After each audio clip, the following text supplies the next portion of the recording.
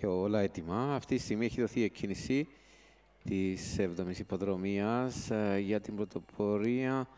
Η καλή κίνηση μικρή Κρίστη Νικόλ και η Περσεφόνη. Η Περσεφόνη και μικρή Κρίστη Νικόλ θα οδηγήσει λόγω εσωτερικής η Περσεφόνη από μικρή Κρίστη Νικόλ και και ο Σούμελα απλά θα ριστεί κοντά τους, αλλά και η Ορέστια βρίσκεται σε καλή θέση. Με την μπαλά Αθηνά να τρίσει πιο εσωτερικό διάδρομο και η Αυγή να βρίσκεται σε καλή θέση.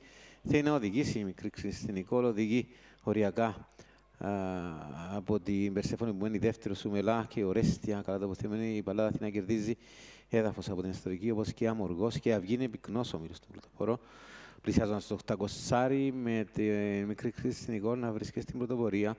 Ένα μήκο από ορέστια που τοποθετείται γρήγορα στη δεύτερη θέση σου μελά τρίτος αυγή στην τέταρτη θέση. Και πιο πίσω η Παλάδα Αθήνα που είναι υποπίεση αμοργός και η Cyprus Dream 600 με τη μικρή Κρίστη Νικόλ να βρίσκεται στην πρωτοπορία. Σουμελά και Ορέστη ακολουθούν. Η Αυγή είναι πιο πίσω η Παλάδα Αθηνά. Είναι στην εσωτερική. Πλησιάζοντας τώρα το 400 μικρή Κρίστη Νικόλ στην πρωτοπορία. Προκείται Σουμελά. Είναι υποπίεση και χάνει θέση τώρα και μένει τρίτος από την Ορέστια που προωθείται στη δεύτερη θέση με τη μικρή Χριστίνη να προηγείται δύο μήκη.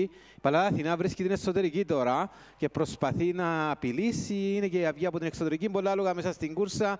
Η μικρή Κρίστη Κόλ εξακολουθεί να προηγείται, επιστρέφει στο Μελάλα και η Παλάδα Αθηνά η οποία βρίσκει τον κάγκελο και δίνει και αυτή τη μάχη με τη μικρή Κρίστη Νικόλ να επιμένει στην πρωτοπορία. Παλάδα Αθηνά σε μια τελευταία προσπάθεια. Παλάδα Αθηνά θα κερδίσει την υποδρομία. Και ο πίσω Σουμελά. Μικρή Κρίστη Νικόλ. και να δούμε ποιο είναι